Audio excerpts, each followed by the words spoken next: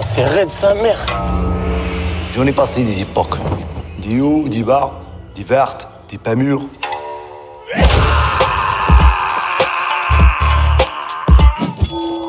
Et quand j'étais en prison, dans une époque sombre de ma vie, j'ai eu l'honneur de rencontrer mon maître, Maître Gims.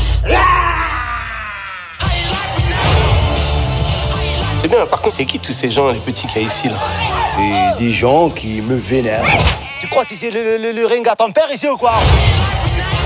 Si tu gagnes pas le combat, tu vas finir à Fort Boyard.